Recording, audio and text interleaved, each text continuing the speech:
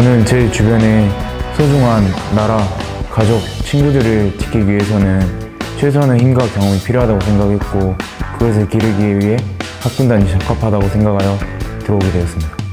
네, 아버지가 어렸을 때 장교이셨는데 어렸을 때부터 아버지의 희생정신과 애국정신을 보면서 저에게 많은 귀감이 되었습니다. 그래서 성인이 된 지금 이제 국가 안보에 좀 더 직접적인 공헌을 하고 싶어서 지원했습니다. 제가 지원한 계기는 명예 때문입니다. 명예는 군인의 모든 군인의 덕목입니다. 하지만 그냥 군 생활을 하는 것보다 장교로서 더 의미 있는 군 생활을 하고자 지원하게 됐습니다. 저는 우선 병사들에게 떳떳한 장교가 되고 싶습니다. 그래서 항상 무슨 일이든 솔선수범해서 나설 것이며 강인한 체력으로 병사들에게 지쳐지지 않고 앞에서 이끌 수 있는 장교가 되고 싶습니다.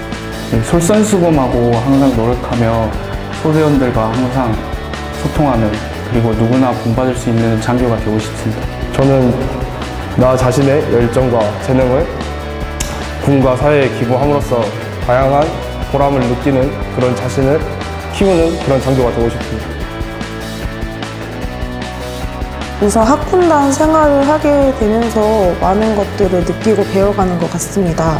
우선 동기들과 함께 동고동락하면서 지내는 시간이 너무나도 소중하고 제가 평소에는 그냥 지나쳤던 사소한 것들에도 행복을 느끼게 되었습니다. 남들처럼 이제 공부하다가 병역의 문제 때문에 학업을 중지하지 않고 이제 계속 전공 관련된 공부를 이어갈 수 있다는 게 가장 큰 장점인 것 같습니다.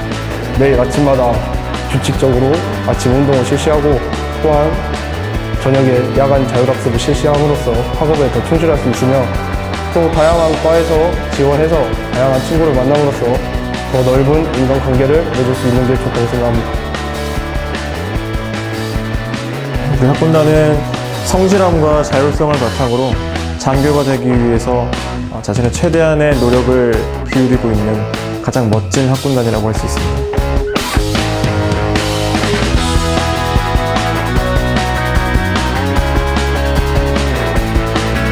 160 학군단 160! 160! 160 학군단! 160 학군단 화이팅!